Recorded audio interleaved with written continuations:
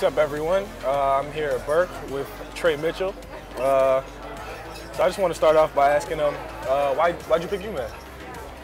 For me, it just felt like the best fit on my visit. I just felt like it was a, it was home. Sounds good, sounds good. So this is a pretty big topic, uh, circulating the team. Who's the best 2K player on the roster?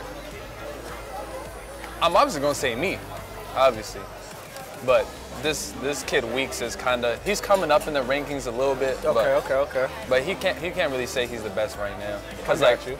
I got more wins than he does. When like our record, I We know- definitely we know I'm that. definitely up, but like He's definitely uh, gassing it, but for sure. if you could meet anybody right now, who would it be? Anybody, Anybody in the world. probably go with Kanye for real. Cause Why? I feel like you can have some interesting conversations with Kanye. That's true, that's true, that's true. Okay, that's Kanye, okay. I don't know about that one. All right. Um, let me see. Top five basketball players. LeBron, KD, Kobe. I'm gonna throw Shaq up there. Okay, okay, okay. MJ. All right, smooth. Who'd you compare your game to? Ooh, That's tough.